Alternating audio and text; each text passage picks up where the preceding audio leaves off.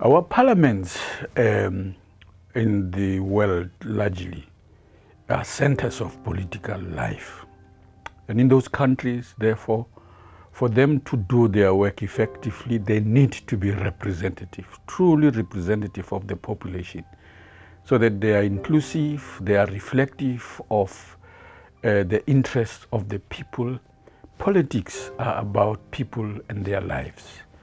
I'm um, ethnically Cook Island and a New Zealand Member of Parliament. I have a relationship with a couple of women parliamentarians in the Cook Island House of Parliament and as new members of Parliament we've often had discussions about the things that we um, would like to do um, to support each other through our parliamentary career.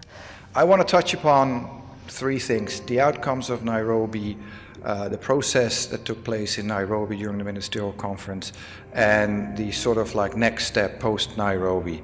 Every ministerial conference of the WTO adopts a declaration. Ministers adopt that by consensus, and those declarations are normally a mix of confirmation of the path people are on, a certain number of procedural decisions, as well as you know more substantial issues that came out of negotiations either during the conference or in the preparations before it. Members of the Caribbean community or CARICOM have participated in several ways in the WTO dispute settlement mechanism.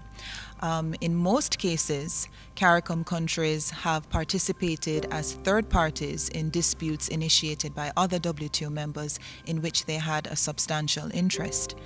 Um, in a few cases, um, CARICOM countries have also participated as a complainant in one case, and in a couple of other cases also, they have had to respond to um, allegations that their measures um, were not consistent with WTO rules.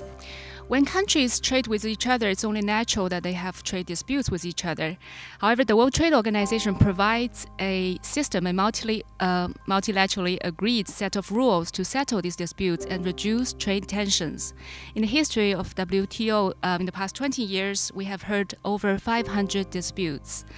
And uh, in comparison, um, the International Court of Justice, for example, uh, has heard only 60 um, disputes uh, in its 70 years of history. So, in a way, it shows how um, productive, how prolific the WTO's dispute settlement system.